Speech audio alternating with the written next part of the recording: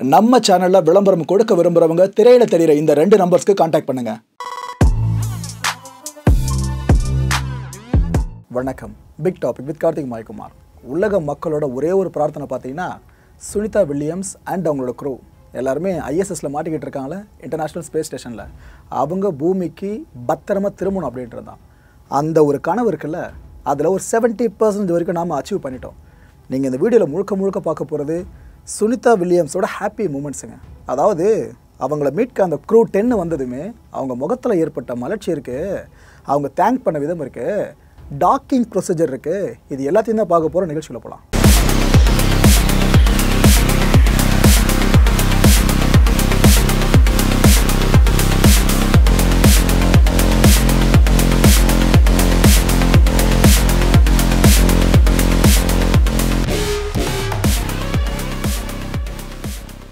Crew nine இதில் தான் Sunita Williams அப்புறம் இவங்க கூட இன்னும் சில ஆஸ்ட்ரனட்ஸு இவங்க எல்லாருமே ஐஎஸ்எஸ் கிளம்பி போனாங்க. அதாவது எப்போவுமே ரொட்டீனாக ப்ரொசீஜர் நடக்கும். அந்த ஐஎஸ்எஸில் ஸ்பேஸ் வாக்ஸோ அப்படி இல்லைன்னா ஏதாவது மற்ற சில விஷயங்களோ தொடர்ந்து நடந்துக்கிட்டு இருக்கும். அதுக்காக போனாங்க. இவங்க போனப்போ பார்த்தீங்கன்னா ஒரு எட்டு நாட்கள் வரைக்கும் தான் மிஷனுக்கான டேட்ஸே ஃபிக்ஸ் பண்ணப்பட்டுச்சு. அதுக்குள்ளே வேலையை முடிச்சு பூமிக்கு திரும்பணும்னு. ஆனால் போதாத காலம் ஒன்பது மாதங்கள் வரைக்கும் அவங்க அங்கேயே சிக்கிட்டாங்க. காரணம் அவங்க போன கிராஃப்ட் இருக்குல்ல. அது அதுக்கப்புறம் இவங்களை பத்திரமா அழைச்சிட்டு வர்ற திறமையை இழந்துடுச்சு. ஏன்னா அந்த ஹைட்ராலி மெக்கானிசம் சார்ந்த ஒரு பெரிய இஷ்யூ வரவே அவங்களால அந்த கிராஃப்டை பயன்படுத்த முடியல. ஸோ இதனால தான் சிக்கிக்கிட்டாங்க. இவங்களை மீட்கிறதுக்காக க்ரூ டென் கிளம்புதுங்க. அந்த க்ரூ டெனில் நாலு பேர். Anne McClain Nichole Ayers Takuya Onishi and Kirill Peskov இந்த நாலு பேரை பற்றி நம்ம முந்தைய வீடியோக்களே தெளிவாக பேசிட்டோன்றதுனால ஸ்ட்ரைட்டாக நம்ம கான்டென்ட் போயிடுவோம். இந்த க்ரூ டென் இருக்குல்ல இவங்க அந்த ஐஎஸ்எஸ் நோக்கின பயணத்தை ஆரம்பித்தாங்க நாசா ஸ்பேஸ் எக்ஸ் ரெண்டு அமைப்புகளும் சேர்ந்து தான் இந்த இனிஷியேட்டிவ் எடுத்திருந்தாங்க. இவங்களோட கிராஃப்ட் இருக்குல்ல அந்த டிராகன் கிராஃப்ட்டு இது சக்ஸஸ்ஃபுல்லாக இந்த லான்ச் வெஹிக்கிள் இருக்கு பாருங்கள் அதிலிருந்து செப்பரேட் ஆச்சு. செப்பரேட் ஆன பிற்பாடு என்ன முக்கியமான வேலை? கரெக்டு அந்த ஐஎஸ்எஸில் போய் டாக் பண்ணணும். இன்டர்ஸ்டலர் படம் பார்த்துருப்பீங்களே அதே மாதிரி தான் கிட்டத்தட்ட. ஸோ அந்த டாக்கிங் ப்ரொசீஜரை இது முன்னெடுத்துச்சு. அதை அப்படியே தத்ரூபமாக படம் பிடிச்சி வெளியிட்டிருக்காங்க. அதெல்லாம் பார்க்குறப்ப சினிமா காட்சிகளாக என்னங்க படக்காட்சிகள்? இந்த ரியலிஸ்டிக்காக பார்க்குறப்ப இன்னும் பயங்கரமாக கூஸ்பா மூமெண்ட்டாக இருந்துச்சு அந்த டாக்கிங் ப்ரொசீஜர் இருக்குல்ல அதாவது ஐஎஸ்எஸோடு இந்த கிராஃப்ட் பர்ஃபெக்டாக சிங்க் ஆனது அந்த காட்சியை முழுமையாக பார்த்துருவாங்களா go for approach zero and enable the maneuver. Expected maneuver start time is approximately 0321 Zulu. Reminder that Dragon will nominally continue its approach through waypoint 1 towards waypoint 2 without stopping.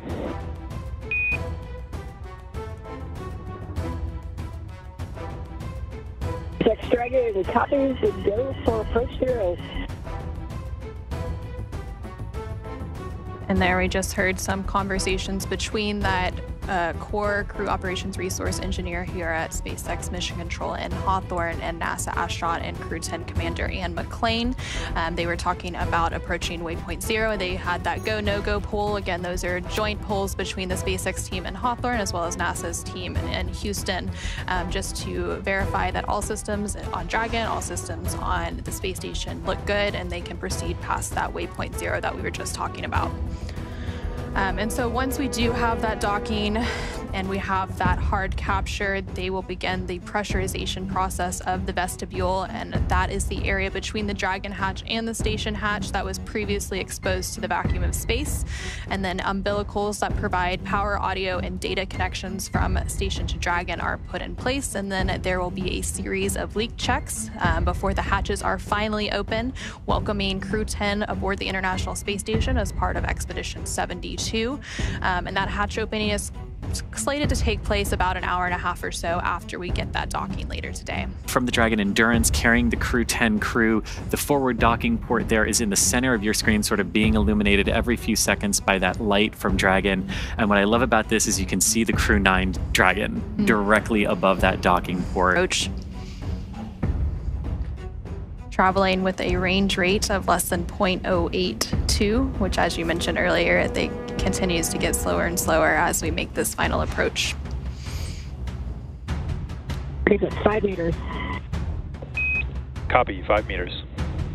So the next call we should hear is chop or that crew hands off period, And followed moments later by docking. That typically comes at about two meters away from the International Space Station. Right now, we're less than four meters away.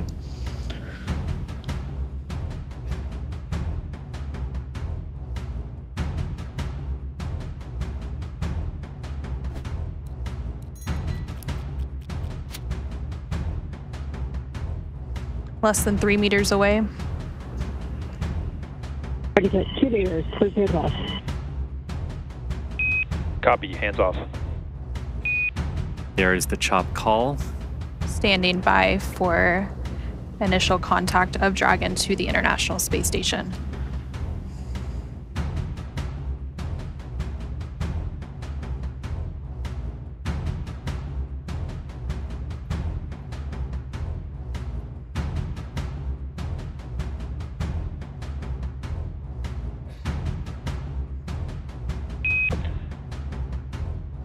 Dragon contact and soft capture complete. And there you heard Dragon has successfully docked to the International Space Station. We have contact and soft capture confirmed. தங்களை பத்திரமா மீட்டு கொண்டு போகிறதுக்காக craft வந்துருச்சு. அப்படின்ற சந்தோஷம் இருக்குல்ல? அது சுனிதா முகத்தில் அப்படி தெரிஞ்சது. வேற யாரும் இல்லை. நம்ம சுனிதா வில்லியம்ஸ் தான். மேலே சிக்கிட்டு இருக்காங்களே இவங்க ப்ளஸ் அந்த குரூ எல்லாருமே ரெடியாக இருந்தாங்க. அப்பா நல்ல வேலை நம்மளை மீட்க கிராஃப்ட் வந்துருச்சு. நாம் திரும்ப பூமிக்கு போக போகிறோம் பத்திரமா போக போகிறோம் அப்படின்ற நம்பிக்கையில் அவ்வளோ சந்தோஷம் அவங்க முகத்தில் பார்க்க முடிஞ்சது. அதுவும் அங்கேருந்த க்ரூவில் இருந்த ஒருத்தர் பார்த்தீங்கன்னா ஏலியன் மாஸ்க் இருக்குல்ல அதை அணிஞ்சிட்டு இருந்தார். கொஞ்சம் அப்படியே சிம்பிளைஸ் பண்ணுற மாதிரி அதை அணிஞ்சிட்டு இருந்தார். இந்த வீடியோ தவறாக புரிஞ்சுக்கிட்டு பல பேரும் நாங்கள் சுனிதா வில்லியம்ஸ் கூட ஏலியன்லாம் இருக்குது அப்படின்னு பேச ஆரம்பிச்சிட்டாங்க. ஏலியன் கிடையாது மக்களே ஜஸ்ட்டு மாஸ்க் மட்டும்தான் அதை புரிஞ்சுக்கிங்க. இந்த ஹேட்ச் இருக்குல்ல இதை ஒரு வழியாக ஓப்பன் பண்ணி ரெடியாக இருந்தாங்க வர்றவங்கள வெல்கம் பண்ணுறதுக்காக Getting ready to welcome the crew.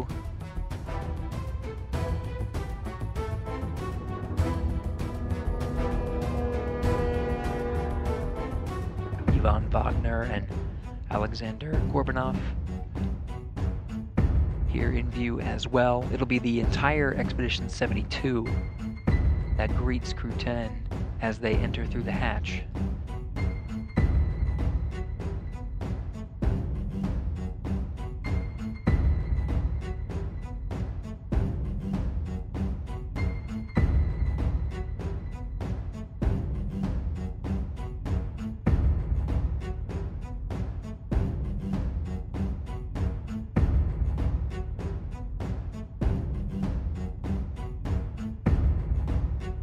Houston on two. Seals look good, no condensation. Houston copies.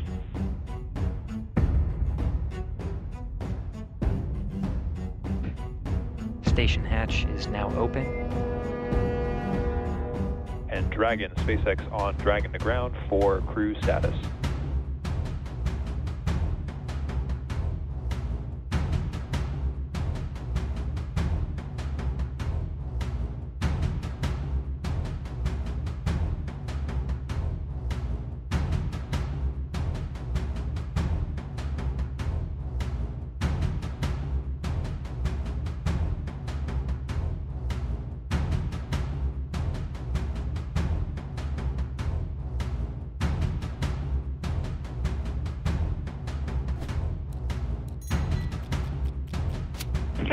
Vapor on Dragon to Ground. Go ahead.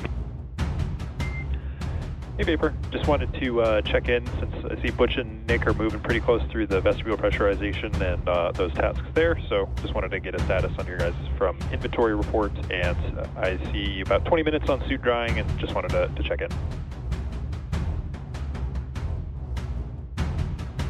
Uh, yep, we're checking about 20 minutes on suit drying as well. Uh, you've got 1.5 of us changed, and then the other two are doing the inventory and packing right now, and we'll get you the water and food inventory soon.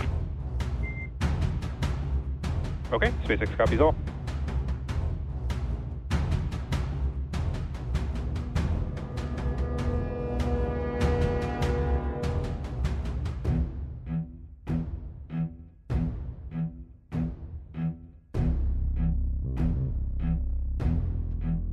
So, as a readback, you can hear the crew inside Dragon speaking with the core that's over at SpaceX's Mission Control in Hawthorne, California. இவங்க மட்டும் இல்லை இந்த காட்சியை பார்த்து நாமளும் அவ்வளோ சந்தோஷத்துக்கு போயிட்டோம். பிகாஸ் ஒரு பெரிய நம்பிக்கையே பிறந்திருக்கு. அந்த க்ரூ டென்னில் இருக்க மெம்பர்ஸ் இருக்காங்களே அவங்க எல்லாம் அந்த ஹேட்ச் மூலமாக இந்த ஐஎஸ்எஸ்குள்ளே வர ஆரம்பிச்சிட்டாங்க. அப்போது ஒவ்வொருத்தர் முகத்தில் இருந்த சந்தோஷம் ஸ்பெசிஃபிக்காக சுனிதா வில்லியம்ஸ் முகத்தில் இருந்த சந்தோஷம் இருக்கு. எல்லாரும் ஒருத்தரை ஒருத்தர் ஆற தழுவி முத்தமிட்டு தன்னோட சந்தோஷத்தை அப்படி வெளிப்படுத்தினாங்க. ஏன்னா எவ்வளோ பெரிய நம்பிக்கைங்க இது?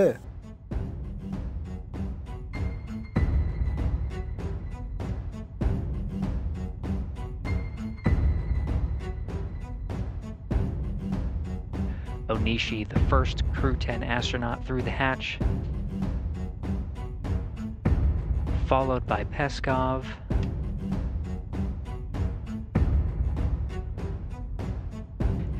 Nicole Ayers, the first of the Fly's newest class of astronauts to enter, and last commander of Crew 10, Anne McLean.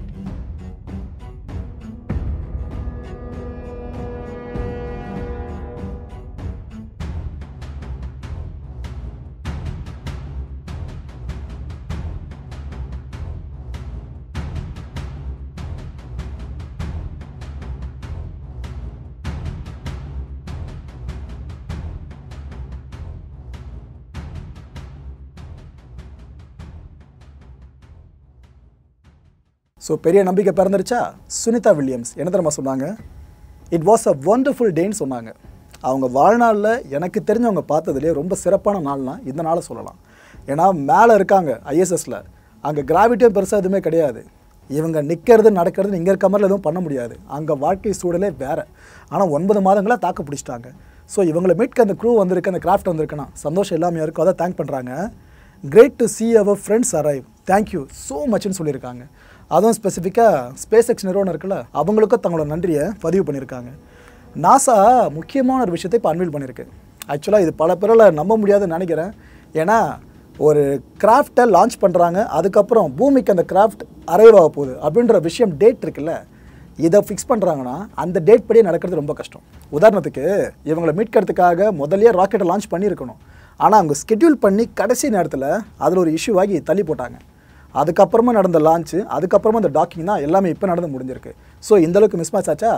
சரி இதுக்கப்புறம் நாசா கொஞ்ச நாள் கழித்து அறிவிப்பாங்க. இவங்களோட ரிட்டர்ன் சாரணும் அப்படின்னு எல்லாம் நினச்சிட்டு இருந்தாங்க. ஆனால் நம்ம முன்னாடி ஒரு விஷயத்தை கணிச்சிருந்தோம். இந்த டேட்குள்ளே அவங்க பூமிக்கு திரும்பலான்னு சொல்லிட்டு. இப்போ நாசா என்ன தெரியுமா சொல்லியிருக்கு? அந்த டேட்டுக்கு ஒரு நாள் முன்னாடியே அவங்க பூமிக்கு வந்துடுவாங்கப்பா அப்படின்னு நல்ல செய்தியை சொல்லியிருக்காங்க. ஸோ உலக மக்கள் எதிர்பார்த்துருக்க நாள் இருக்குல்ல?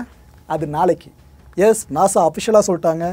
நாளைக்கு சுனிதா வில்லியம்ஸ் அவங்க குரூ இருக்குல்ல இவங்க பூமியை சேஃபாக ரீச் பண்ணிடுவாங்கன்னு நாசா இப்போ சொல்லியிருக்கு. ஸோ ப்ரீவியஸ் ஸ்கெட்யூல் இருக்குல்ல அதுக்கு விட ஒரு நாள் முன்னாடியே அவங்க பூமிக்கு வந்தடைகிறாங்க நாளைக்கு மிக முக்கியமாக உலகம் எதிர்பார்த்து காத்துக்கிட்டு இருக்க வானத்தையே. சேஃபாக வராங்களா வராங்களா வராங்களான்னு சொல்லிட்டு. ஏன்னா கண்டாமினேஷன் ப்ரொசீஜர்லாம் இருக்கும். அதுலேருந்து பாதுகாத்துக்கிற மாதிரிலாம். அவ்வளோ விஷயங்கள் நடந்த பிற்பாடு அதுக்கப்புறம் நமக்கே பெருமூச்சு வரும். இந்த ஓஷன் ஸ்பிளாஷ் டவுன்னு சொல்லுவாங்க. அதாவது இப்போ அந்த கிராஃப்ட்டு பூமியை நோக்கி வருது அப்படின்னா வந்த பிற்பாடு அது எங்கே லேண்ட் ஆக போகுது? அதை தான் ஓஷன் ஸ்பிளாஷ் டவுன்னு சொல்லுவாங்க. கரெக்டாக கடலில் மோதுங்க. அதுக்கப்புறம் தான் அங்கே இருக்கிற வெஹிக்கிள்லேருந்து போகிறவங்க இவங்களை பத்திரமா அழைச்சிட்டு வருவாங்க. ஃப்ளோரிடா கோஸ்ட் இருக்குல்ல அந்த ஸ்பாட்டு தான் இது. ஸோ ஸ்பாட்டும் சொல்லியாச்சு டேட்டும் சொல்லியாச்சு. நாளைக்கு எல்லாருமே காத்துக்கிட்டு இருப்போம். அமெரிக்கா இந்தியா டைம் வேரி ஆகும். அதுக்கேற்ற மாதிரி காத்துக்கிட்டு இருப்போம். எந்த அளவுக்கு இந்த சக்ஸஸ்ஃபுல்லான விஷயம் வரலாற்று சிறப்புமிக்க விஷயம் நடக்க போகுதுன்னு சொல்லிட்டு. இந்த க்ரூ நைன் இருக்குல்ல இதில் இருக்க நாலு பேர் Sunita Williams Butch Wilmore and Nick Hague and Alexander Gorbunov நிறைய பேர் நினச்சிட்டு இருக்கிறது ஒரே ஒரு ஆள் தான் சுனிதா நினச்சிக்கிட்டு. அந்த குருவே சிக்கிட்டு இருக்கு. இங்கே இதுதான் எல்லாருமே புரிஞ்சுக்கணும். பிரார்த்திக்கும் போது அவங்க பேரையும் சேர்த்து பிரார்த்திக்கணும். இந்த குரூ நைனில் இருக்காங்களே சுனிதா அண்ட் ப்ளஸ் அவங்களுடைய டீமு இவங்க பூமிக்கு வந்த பிற்பாடு சில விஷயங்களை சந்திப்பாங்க. தற்காலிக இடர்பாடுகளாக இருக்கும். ஏன்னா ஒன்பது மாதங்கள் வரைக்கும் ஸ்பேஸ்லேயே இருக்காங்க. அவங்க பூமியில் வாழ்ந்தது வேறு ஸ்பேஸில் வாழ்கிற வாழ்க்கை வேறு. அங்கேருந்து பூமிக்கு திரும்ப வந்த பிற்பாடு இங்கே நீங்கள் ஏற்ற மாதிரி மாறணும்ல பழைய மாதிரி. அதில் தலை சுற்றல் லேசாக இருக்குங்க. அந்த குரூ பூமியை வந்து ஹிட் பண்ணதும் சில நாட்களுக்கும் இல்லை சில மணி நேரங்களுக்கும் அவங்களுக்கு அது இருக்கலாம் அப்புறம் தலை வலி லைட்டாக அவங்களுக்கு ஏற்படலாம். இது கூடவே அவங்க நடக்கிறதுல கூட லேசான தடுமாற்றம் ஏற்படும். ஏன்னா அவங்க ஐஎஸ்எஸ்ல இருக்காங்க. கிராவிட்டி கிடையாது. யோசிச்சு பார்த்துங்க அங்கே நடக்கிறதுலாம் பாசிபிள் இல்லை. கிட்டத்தட்ட பறக்கிற மாதிரி தான் சமம் அது. பொருட்களை கையாடுறதுல கூட தொய்வு ஏற்படலாம். ஒரு டிஃபன் பாக்ஸ் எடுத்து ஓரமாக வைக்கிறது கூட அவங்களுக்கு கொஞ்சம் சிரமமாக இருக்கலாம். இது எல்லாம் ஆரம்ப கட்டமாக அவங்க ஃபேஸ் பண்ணுவாங்க. ஏர்த்தை வந்தடைஞ்ச பிற்பாடு. பிகாஸ் அவ்வளோ நாட்கள் மேலே வந்திருக்காங்க அதிக நேரம் விண்வெளியில் இருந்தவங்க அப்போ அவங்க தானாப்பா சுனிதான் ப்ளஸ் அவங்களுடைய டீம் தானே கேட்டிங்கன்னா கிடையாது. நம்ம பார்த்து ஓ இவ்வளோ நாள் இருந்திருக்காங்களே சிக்கிக்கிட்டாங்களே அப்படின்றனால விஷயம் பெருசாச்சு தவிர இவங்களுக்கு முன்னாடி உலக சாதனையில் படைக்கப்பட்டிருக்கு. ரொம்ப நாட்களுக்கு ஸ்பேஸில் இருந்தாங்கன்னு சொல்லிட்டு. இதில் சமீபத்திய சாதனைன்னு சொல்லணும்னா ரெண்டாயிரத்தி இருபத்தி மூணாம் வருஷம். நாசா ஆஸ்ட்ரனட்டான ஃப்ராங்க் ரூபியோ இருக்கார்ல இவர் முந்நூற்றி எழுபத்தி ஒரு நாட்கள் ஸ்பேஸில் இருந்தார். இவங்க எல்லாரை விட பெரிய சாதனை யார் திரும்ப படைச்சது? அமெரிக்கன் கிடையாது ஒரு ரஷ்யர் த ரஷ்யன் காஸ்மோனட்டான வெலரி போலியாக்கோ இவர் தான் உலக சாதனையே. நானூற்றி முப்பத்தி ஏழு நாட்கள் ஸ்பேஸில் இருந்தவர். இவங்களையெல்லாம் தாண்டி தான் இப்போ சுனிதா ப்ளஸ் அவங்க டீமை நாம் பார்க்க போகிறோம் மக்களை இந்த கான்டென்ட்டை பொறுத்தவரைக்கும் நாமெல்லாம் எதிர்பார்க்க வேண்டியது இந்த தருணத்தை தான். சுனிதா வில்லியம்ஸும் அவங்களுடைய டீமும் சக்ஸஸ்ஃபுல்லாக ஏர்த்தை வந்தடைஞ்சு அதுக்கப்புறம் மக்களை நோக்கி கையசைப்பாங்களே அந்த ஒரு மகிழ்ச்சிகரமான தருணத்தை தான் எதிர்பார்த்துக்கிட்டு இருக்கோம். இதெல்லாம் தாண்டி ஒரு இன்ட்ரெஸ்டிங்கான ஃபேக்டை சொல்லிட்டா இப்போ நீங்கள் இவ்வளோ வீடியோஸ் பார்த்தீங்களே ஸ்பேஸ் சார்ந்த இவ்வளோ அரிதான வீடியோஸ்லாம் டாக்கிங் ப்ரொசீஜர்லாம் இது எல்லாத்தையும் கல்பனா சாவ்லா அவர்களோட பிறந்த நாள் அதுவுமா கரெக்டாக பார்த்துருக்கீங்க. எஸ் இன்றைக்கி மார்ச் பதினேழாம் தேதி கல்பனா சாவ்லாவோட பிறந்த நாள். அடுத்த நிகழ்ச்சி சந்திக்கலாம். நன்றி வணக்கம். வணக்கம் மாயம் ஸ்டுடியோஸ் நண்பர்களே. மாயம் ட்ரெண்ட்ஸ் அப்படின்ற ஒரு புதிய ஃபேஸ்புக் பேஜை ஓப்பன் பண்ணியிருக்கோம். நீங்கள் யூடியூப்பில் பார்த்துட்டு இருக்கீங்களா? நம்மளோட கான்டென்ட்ஸ்லாம் இதெல்லாம் விட ஒரு படி மேலே ரொம்ப கிறிஸ்பாகவும் ரொம்ப சூப்பராகவும் நிறைய கண்டென்ட்ஸ் உங்களுக்கு இந்த பேஜில் காத்துட்டு ஸோ உடனடியாக ஃபேஸ்புக் பிளாட்ஃபார்ம் போங்க. மாயம் ட்ரெண்ட்ஸ்னு டைப் பண்ணி சர்ச் பண்ணி நம்ம பேஜை ஃபாலோ பண்ணுங்கள் அப்படியே நம்ம சேனலே நீங்கள் சப்ஸ்கிரைப் பண்ணிட்டீங்க அப்படின்னா இன்னும் நிறைய புது புது கான்டென்ட்ஸை உங்களுக்காக ப்ரொடியூஸ் பண்ணி கொடுத்துக்கிட்டே இருப்பாங்க. நீங்கள் பண்ணுற ஒவ்வொரு சப்ஸ்கிரிப்ஷனும் எங்களுக்கு பெரிய மோட்டிவேஷனாக அமையும்.